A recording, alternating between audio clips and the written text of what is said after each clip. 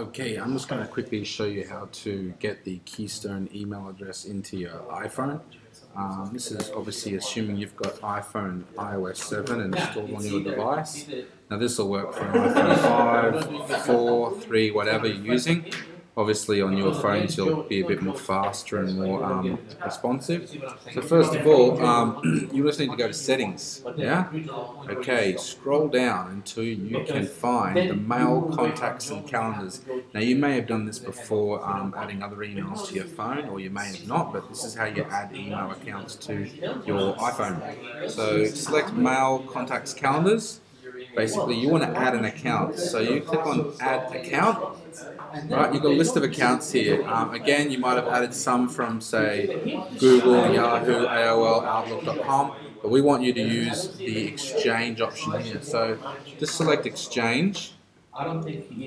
Right, and basically what you need to do here is put your email um, address into this one. So I'm going to put my address, uh, my email address in here. Now mine's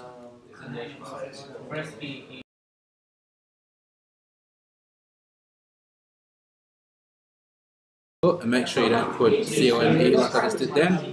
Just make sure everything's all correct as an email address should be. You won't have any automatic tick or to verify that. You'll find out later on if you've done it wrong and you waste your time.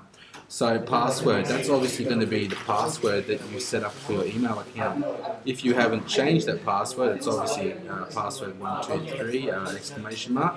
Hopefully you do not have that password still because it's not very safe. So I'm just going to put in my password here and description exchange that's fine you can change it if you want but for this tutorial we're not going to change that click on next so this is going to verify it that's great. You've got to this stage. Now, this is the real important step, and this is where a lot of people are going to get thrown off if they're not watching this. This, this is where you actually put in the server address. Now, leave the email at the top here, and you need to put the server address in here. So this is uh, mail dot rto sg dot com dot au. All right and the domain, leave that as optional. Do not enter anything in there. Username. That's what you have to put in your name. So that's your first name dot last name, just like when you log into your email from webmail. So I'm going to put it in.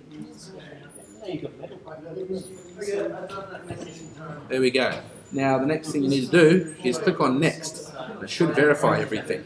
You should get ticks if everything works in the boxes. You can see it's verifying okay, the fact that I'm on this page means that obviously I've done something right. So you can actually get it to sync up reminders and contacts, but we're just going to leave it on default. So we hit save, bang, it adds the account to your phone, you've got that now.